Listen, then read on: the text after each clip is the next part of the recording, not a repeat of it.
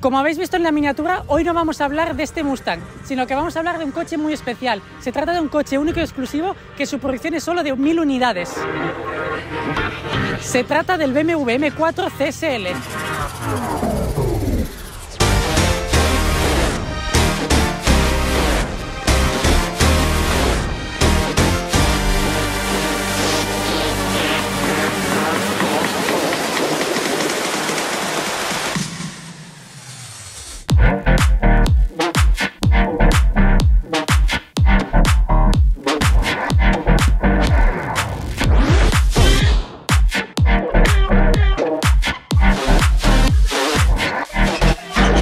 Aquí a mi lado tengo a Razor, el propietario de este exclusivo BMW, pero no es tu primer BMW, ¿verdad?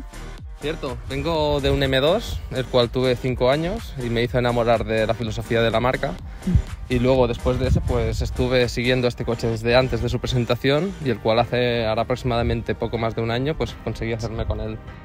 Genial, pues si queréis ver más tanto de su coche como de otros coches que tiene, os dejo su Instagram aquí abajo en pantalla para que podáis seguirle y ver todos sus pasos.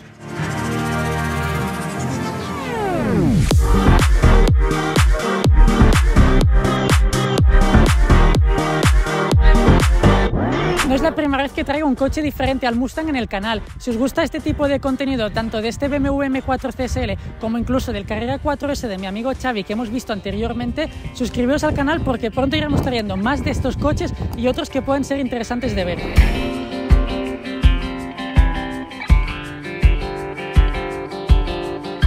BMW M4 CSL es uno de los coches más exclusivos fabricados por la marca alemana, con un precio superior a los 200.000 euros y es que comprar uno de estos coches a fábrica no era fácil.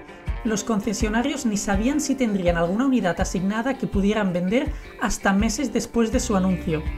Desde que inicié el canal de YouTube que ya había hablado con Razor para traer este coche en un vídeo, puesto que lo tiene de unos meses antes que mi Mustang, pero quería esperar a que tuviera un poco más de audiencia en el canal ya que este coche lo merece. El diseño de este coche, a pesar de ser una herramienta de circuito, mantiene cierta sobriedad sobre la base del M4, pero que ya a primera vista se nota que no es un M4 cualquiera.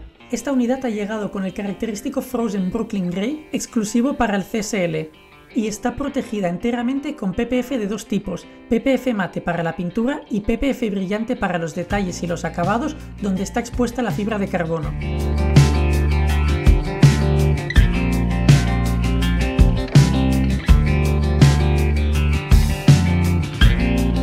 y acompañado del gris hay muchos detalles marcados en rojo que le dan este aspecto agresivo y de coche de circuito.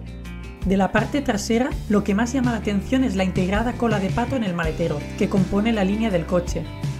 Y por debajo tenemos cuatro elegantes colas de escape rodeadas de un agresivo difusor completamente de fibra de carbono.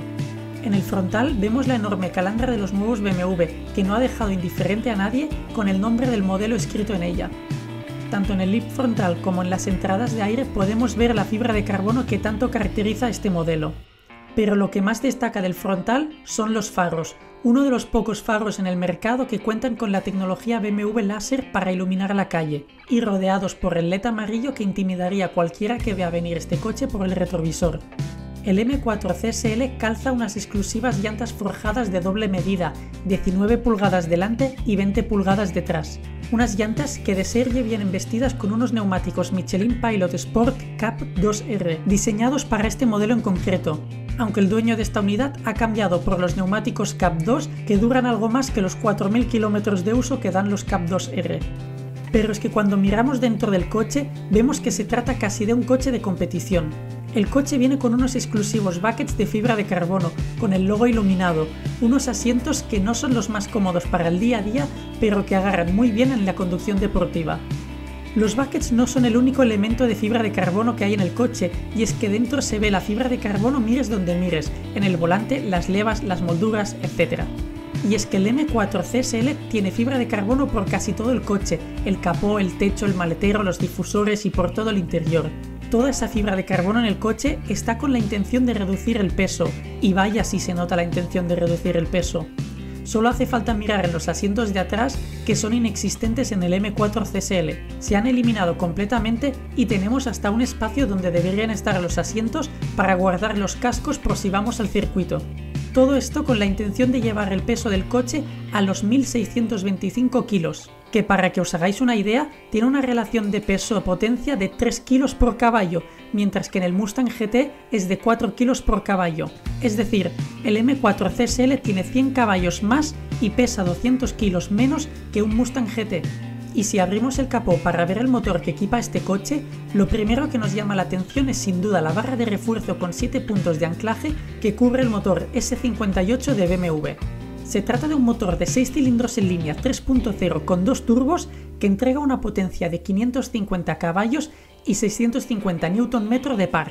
Y a diferencia de los M3 y M4 Competition que llevan el mismo motor y son tracción total, este M4 CSL envía toda la potencia a las ruedas traseras.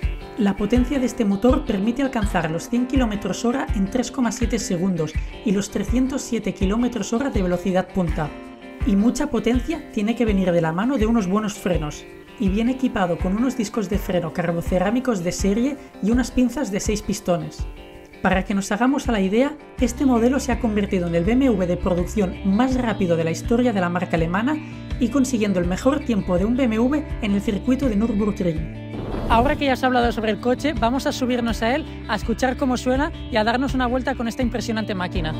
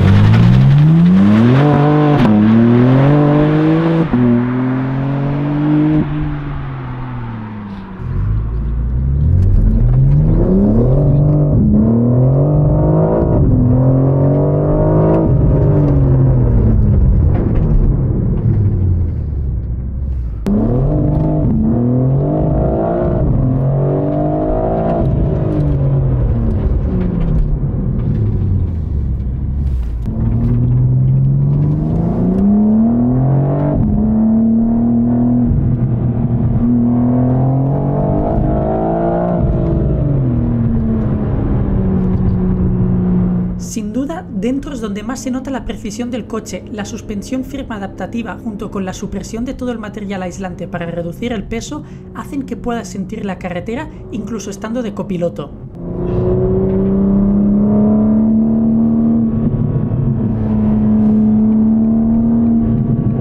Y a esto hay que sumarle que en este coche no hay 4 o 5 modos de conducción, sino que puedes configurar completamente el comportamiento del coche desde 10 niveles diferentes del control de tracción, la dirección, el modo de funcionamiento de los frenos hasta el propio tacto de los pedales. Por suerte cuenta con los botones M1 y M2 que puedes guardar tu configuración y acceder a ella muy rápidamente. Sin duda, es toda una experiencia poder subirse en un coche como este. No estoy acostumbrado a ir de copiloto y las sensaciones son muy diferentes cuando no conduces tú, todo se nota más intenso cuando no tienes tú las manos en el volante. Lo que me sorprendió positivamente son los buckets, y es que no son lo más cómodo al subirse, pero una vez sentado estás tan bien agarrado que no tienes la sensación de salir disparado por las curvas y aunque no hemos podido ponerlo al límite, no descartamos ir algún día juntos a un circuito para poder probar la potencia de nuestros coches. No me puedo imaginar cómo se tiene que sentir estar de copiloto en un circuito dentro de un M4 CSL. Apoyo los vídeos si queréis ver nuestras máquinas corriendo en un circuito y suscribiros al canal para no perderos nada nuevo.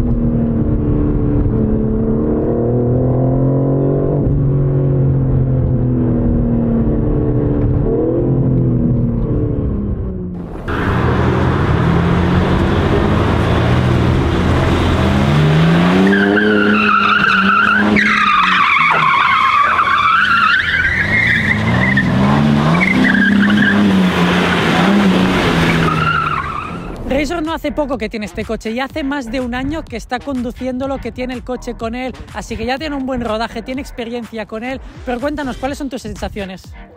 Bueno, podemos empezar Sabemos que no es un coche para el uso diario, lógicamente tiene sus limitaciones, es un coche incómodo, lleva buckets, que no vas a ir cómodo, viajes largos. de hecho, el más largo que haya podido hacer ha sido de más de 200 kilómetros en el pasado.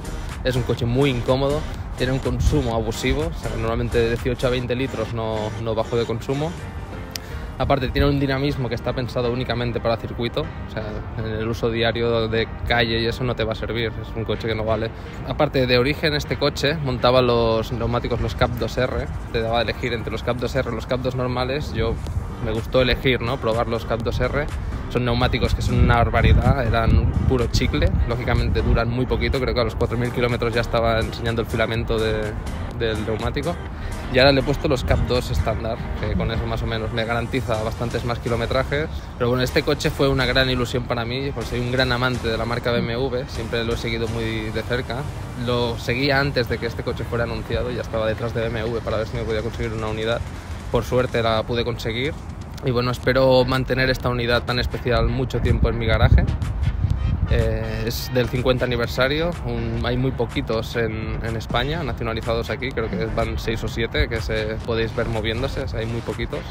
espero que os haya gustado toda esta experiencia con el coche, con Patrick, que le deis mucho cariño a este vídeo y a todos sus vídeos y que seguramente nos veremos muy pronto en más tomas con él. Pues eso, como veis, hay mucho que podemos contar del coche. Si tenéis preguntas o algo que saber más del coche, dejad los comentarios, que siempre en un vídeo futuro podemos volver a lanzar esas preguntas a Razor para que nos conteste con su experiencia del coche, todo lo que queráis saber de él, dejad los comentarios que lo volveremos a traer y así podemos resolver estas dudas. Por mi parte, espero que os haya gustado el vídeo, muchas gracias por verlo y nos vemos en el próximo.